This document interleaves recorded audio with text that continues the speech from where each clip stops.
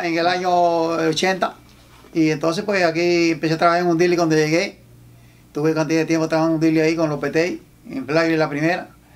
Y entonces de ahí me fui, ah, todavía me fui a manejar camiones con, con una compañía de García, que tenía una compañía cartera. Y ganaba ahí, trabajé un tiempo con él, grande. Y después sacaron mucha gente y me sacaron a mí también, sacaron como 40, porque dejaron por libre. Entonces yo de me fui, entonces me fui de barbero para allá, para Foto del con un amigo mío Armando, que éramos barberos de Cuba.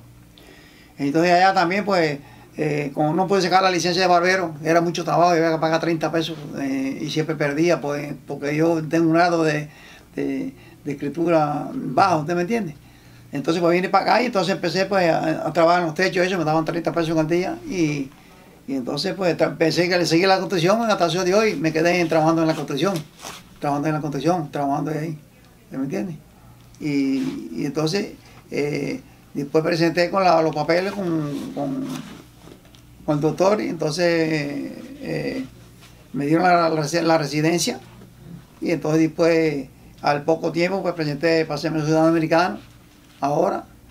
Y entonces pues pero que esto me ha durado como dos años porque antes yo no estaba en eso de sacarlo a ellos no estaba en eso porque yo antes de lo que quería no, no estaba en eso de no, no le había puesto tanto interés desde, desde, que llegué a ni a yo no, no estaba en eso. De, la podía haber sacado desde años, pero nunca tuve nada, nunca tuve. Cuando valía 10 pesos, cuando valía 10 pesos, yo no, estaba, no sé que tenía, que no, no, no, me, no, me daba de cuenta, vaya, no tenía pensamiento.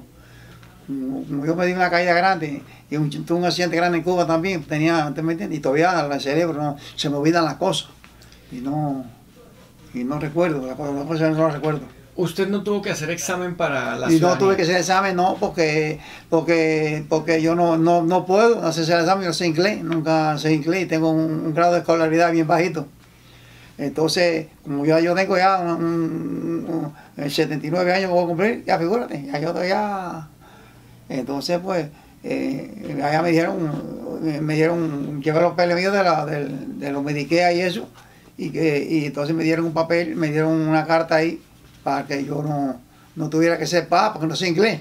¿Un médico le hizo un examen? Sí, claro, no, sí, un médico, un médico, no, un médico, eso fue para los médicos. ¿Y el médico expidió una carta diciendo que usted... Claro que sí, sí, se fue para, fue para inmigración, sí, sí, como no, sí. ¿Y, ¿Y, usted por qué quería hacerse ciudadano? se me llama porque yo quiero ser ciudadano americano, quiero ser ciudadano americano, no hay país más grande del mundo quiero serme, ser americano, tener todo aquí en, los Estados Unidos, porque a Cuba figura todo eso.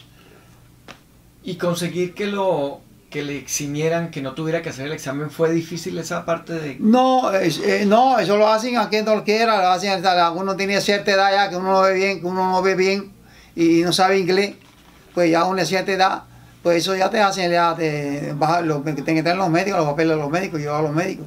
Y entonces vieron que no entienden, que no, no, no sabía inglés y no tenía el grado de calidad que tenía, pues me hicieron todo a través de los papeles, de la doctora y todo eso. ¿bien?